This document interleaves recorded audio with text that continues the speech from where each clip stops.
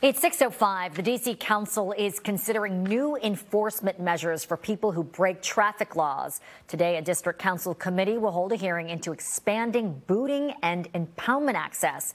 Councilmember Mary Cheh introduced the legislation that would give the district's Department of Public Works the authority to enter private commercial garages and parking lots. This would allow crews to boot vehicles that avoid enforcement. The D.C. Council also took action on two bills aimed to improve road safety. One would fine food delivery drivers for double parking.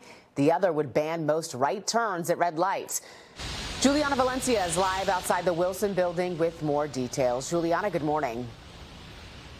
Good morning. Let's start with that temporary legislation that the D.C. Council passed that would be allowed to fine food delivery drivers for blocking traffic. Now, this is an, an effort to stop bike lanes from being blocked, crosswalks from being blocked, and this would allow the Department for Hire Vehicles to be able to give citation to food delivery drivers.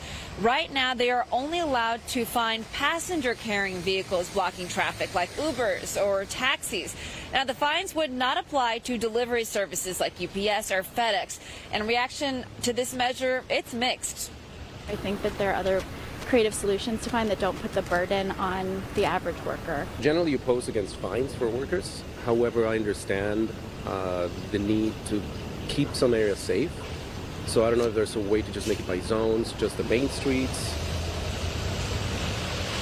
the D.C. Council also passed the Safer Streets legislation. It would eliminate right turns at red lights at most intersections. It would still allow the Department of Transportation to allow right turns at red lights where they find it will improve safety, and cyclists would able to be still able to ride through stop signs or through stoplights where it seems safe to do so. But this law would not take effect until 2025. Back to you. All right, Juliana, thank you.